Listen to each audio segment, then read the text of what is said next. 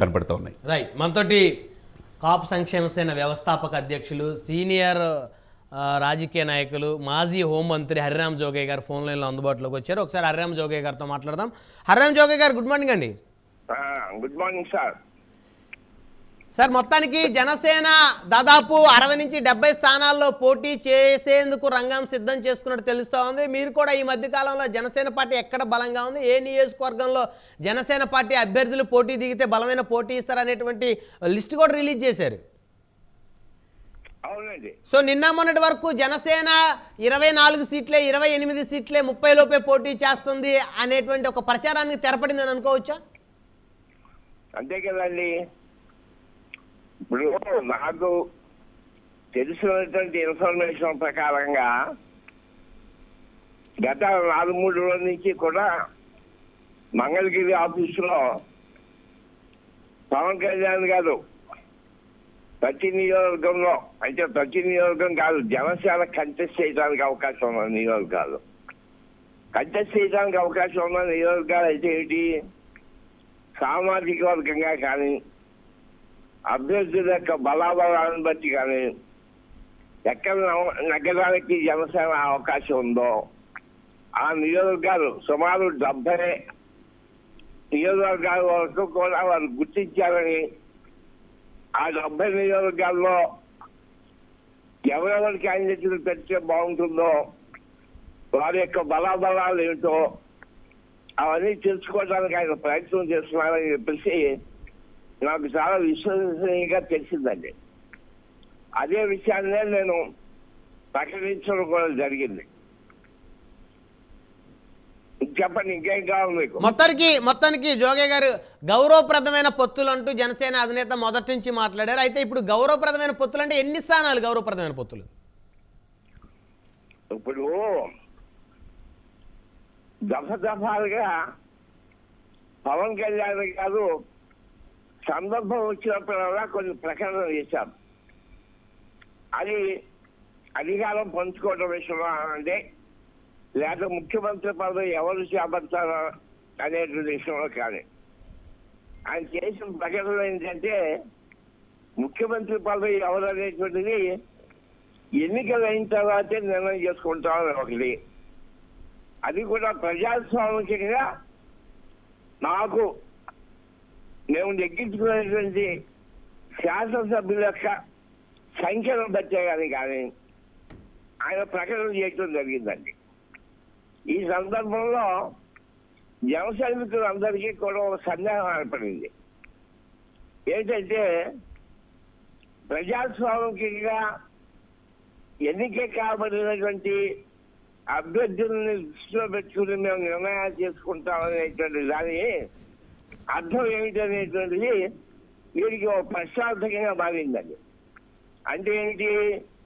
జనసేనకు కూడా తెలిసాక శాసనసభ్యులు ఉండగలిగితేనే ముఖ్యమంత్రి పదవి కావాలని అడగడానికి అవకాశం ఉంటుంది. అలాంటప్పుడు తెలిసాక సీట్లు అన్నా సరే వీళ్ళు పోటీ పెట్టగల అవకాశం ఏర్పడాలి కదా. అవును. అంటే వాళ్ళ పంపకంలో తెలిసాక సీట్లు అయినా రావాలి కదా. అవును. మరి తెలిసాక సీట్లు వచ్చే అవకాశం ఉందా?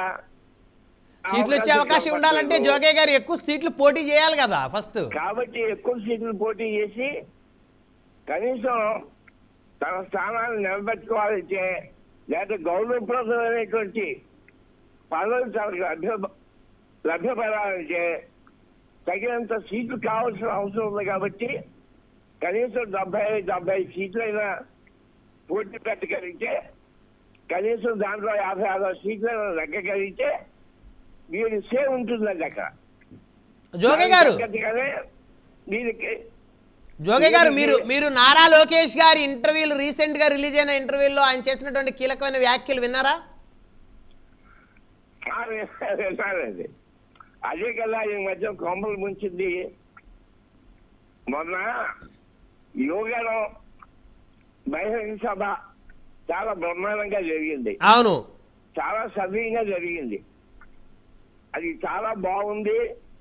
ఉభయత్ర కూడా చాలా బాగుంది అని అనుకుని అందరూ కూడా సంతోషపడేటువంటి సందర్భంలో ఈయన అనవసరంగా స్టేట్మెంట్ ఇచ్చాడండి. లోకేష్ గారు ఆ యువకాలం అయిపోయిన తర్వాత అనవసరమైన స్టేట్మెంట్ చంద్రబాబు ముఖ్యమంత్రి అవుతాడని దానికి పవన్ కళ్యాణ్ గారి యొక్క అంగీకారం కూడా ఉందని ఆ స్టేట్మెంట్ ఇవ్వకుండా ఉండుంటే బాగుండేది.